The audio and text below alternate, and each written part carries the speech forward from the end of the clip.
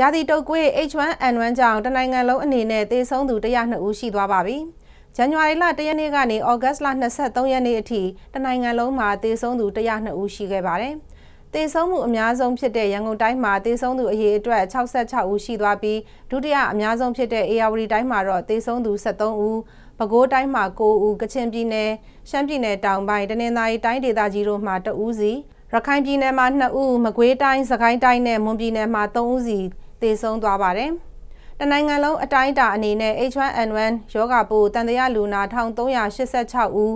ကူးစက်ခံထားရသူ980ဦးရှိပါတယ်။ရာသီတုပ်ကွေးရောဂါလက္ခဏာတွေကတော့ဖျားတာ၊ချောင်းဆိုးတာ၊လဲချောင်းတာ၊နှာရည်ယိုတာနဲ့ကိုယ်လက်နာကျင်ကိုက်ခဲပြီးခေါင်းကိုက်တာ၊ချမ်းတုံဖျားတာနဲ့ကိုယ်လက်မအီမသာတွေဖြစ်လေရှိပါတယ်။အော့အန်နာဝန်းလျှောတာတွေလည်းဖြစ်လေရှိပြီးယောဂဝင်ရောက်ချိန်ဟာယောဂလက္ခဏာပြမဲ့အချိန်ကတရက်ကနေ9ရက်အတွင်းဖြစ်ပါတယ်။ တုပ်ကွေးယောဂမဖြစ်စေဖို့နဲ့ကူးစက်တာကိုကာကွယ်ဖို့လက်ဆေးတာနှာချေချောင်းဆိုးရင်ပါးစပ်နဲ့နှာခေါင်းကိုအုပ်ပြီးဆိုးတာလူထူတတ်တဲ့နေရာကိုအတက်နိုင်ဆုံးရှောင်ကျဉ်ဖို့နဲ့ဖျားနာပြီးအသက်ရှူကျက်ရင်ချက်ချင်းစေယုံဆေးကန်းပြသဖို့ကျန်းမာရေးနဲ့အားကစားဝန်ကြီးဌာနကအကြံပြုထုတ်ပြန်ထားပါတယ်ရှင်။